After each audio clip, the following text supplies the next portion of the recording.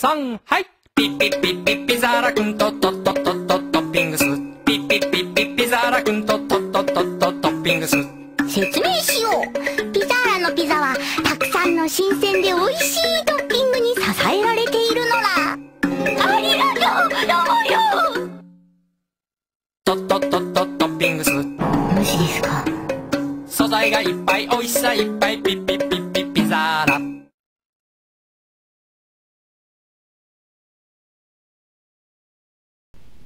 Pizza, a global commodity.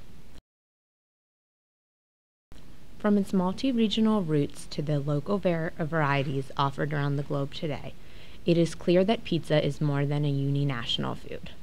Globalization has caused certain foods such as pizza to evolve from a local cuisine to a global one.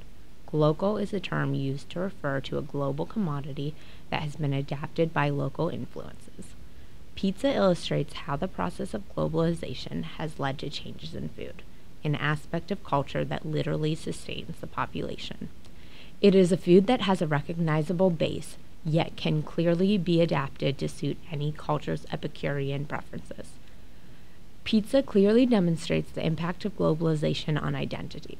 Products, and more specifically, foods such as pizza, have shaped and accentuated personal and national identities as the process of globalization has altered spatial temporal relationships.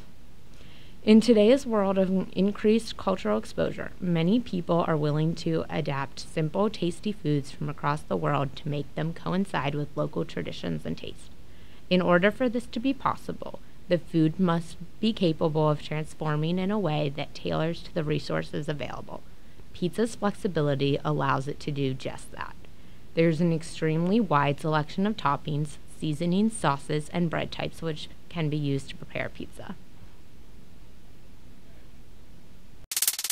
Pizzas are undoubtedly the fastest growing global food trend. So much so, pizzas have now become a daily way of life worldwide. The Global Pizza Challenge was designed by founding member Chef Glenn Auster to create and develop an international platform for all countries to showcase their pizza making skills, cultural flavors, and sheer culinary passion. Although globalization has altered the world to be increasingly interconnected, the physical distances between countries, states, and people still remain relatively constant. So, how does one overcome these barriers and construct the way in which their culture is experienced? Symbols, as defined by the 2011 Merriam Webster Dictionary, are an act, sound, or object having cultural significance and the capacity to excite or objectify a response. Therefore, people refer to symbols as a way of understanding a distant phenomenon or as a means by which they perceive reality. It is only appropriate that we include food in the discussion of for the forming of identity via symbolism because it serves as visual and tangible connections to various cultures and people. Exploring food in this context leads us to believe that one can utilize food in order to connect to a specific identity. In the case of pizza, the simplistic base associated with this cuisine has allowed people in different countries to create variations of this cuisine, attesting to its global nature yet adaptability to individual cultures.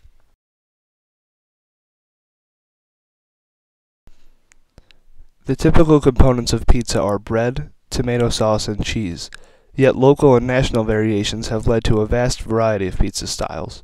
For instance, the Japanese love seafood on their pizzas, including cod, seaweed, tuna, and octopus. Mocba is a Russian style pizza with toppings that include sardines, tuna, mackerel, salmon, and onions. Pizzas from the Middle East often contain spices from this region. Hawaiian pizza is comprised of tomato and cheese base with pieces of pineapple and ham. In a way, all of these pizzas represent the region they come from. Their ingredients are selected based on local taste and availability. Local customs also influence the composition of pizza. For instance, Saudi Arabian pizza does not have any pork based toppings, as it is forbidden in the Muslim religion. The addition or alteration of ingredients affixes a nationalistic meaning to the food.